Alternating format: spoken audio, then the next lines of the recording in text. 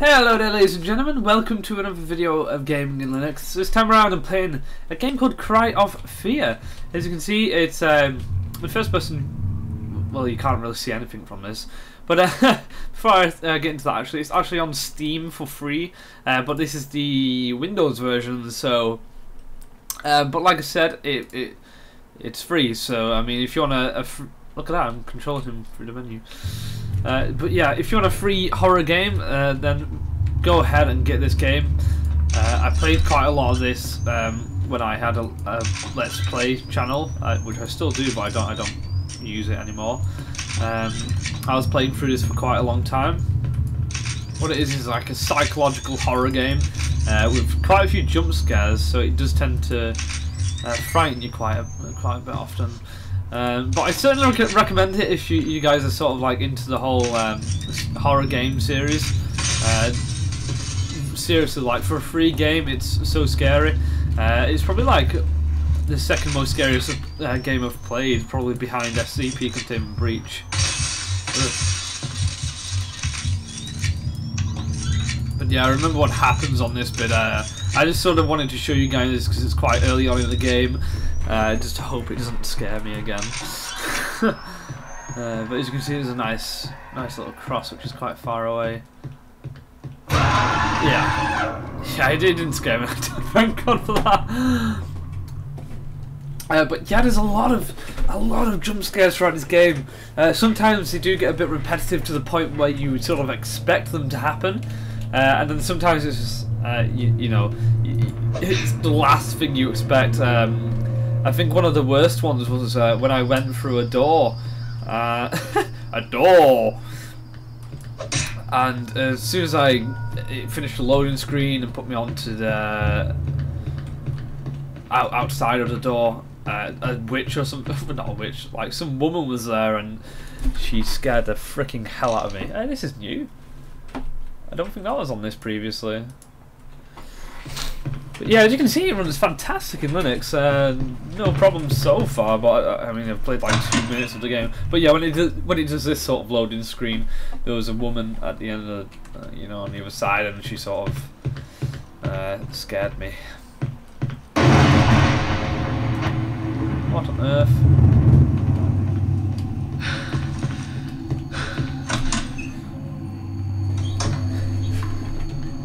Yeah, for a free game, I mean, it's fair play, because, like, they could have easily made a fair bit of money from this game. What's that? swapping sides? Yeah. Uh, mouse one to activate your... How do I, uh... Oh, you're going to inventory, right? Alright, no, if you just go like that and put in... Alright! They've updated it quite a bit since uh, I actually last played it. This used to be like this. Notepad, find a code. ah, cool. I like this. I like this a lot. How do I get off this? Oh, there you go. So if I go on two. Oh, where are you? Come on, as soon as possible. How do I activate the flashlight? My phone has no flashlight.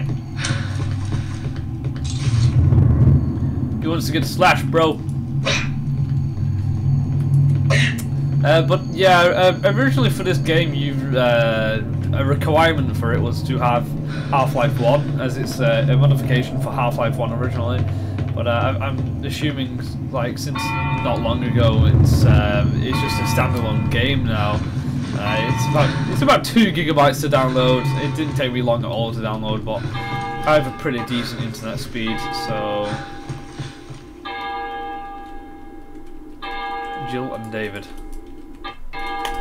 Okay. Oh, right, there's the next. Archives of Jill and David. So I'm currently looking for a note which has a code on it. Um, confused user. Okay.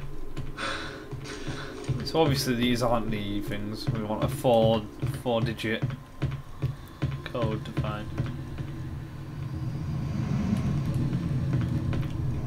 Damn, I'm hearing things, man. Pumpkin! I have a feeling the note will be on this floor over here. Nope. Oh, that's uh, the way I came in, isn't it? Oh, I have no idea. But yeah, throughout the game there's a lot of deranged enemies to fight, and it's quite a long game. I mean, I made 24 episodes on my Let's Play channel, and uh, I, I, never got around to completing it still, which is, uh, I, I, don't know, it's quite a, a, long amount of, it's a lot of episodes, that isn't it? 24 just for uh, one game? Oh, hello. Especially since uh, I didn't complete the game, that is. Is that a syringe there?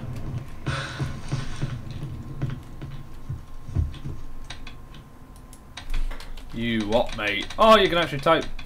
Forget. Log on to. Oh. Oh, uh. Uh. Jill and David. Confused user. Yes, buddy. Jill and David. Confused user. You what?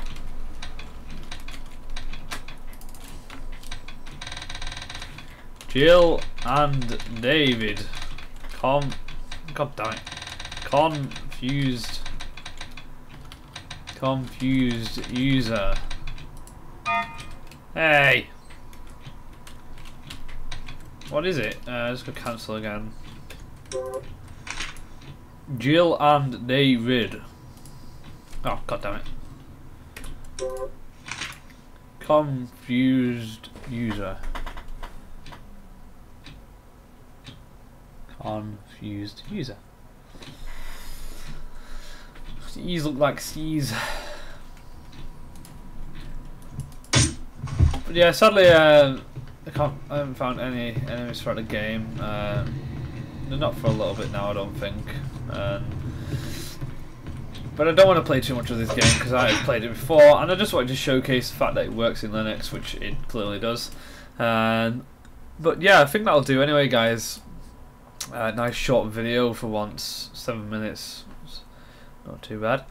Um, but yeah, I hope you guys have enjoyed this video. Rate and subscribe for Team Biscuits. Certainly recommend downloading this game. Um, yeah, peace and out. See you later.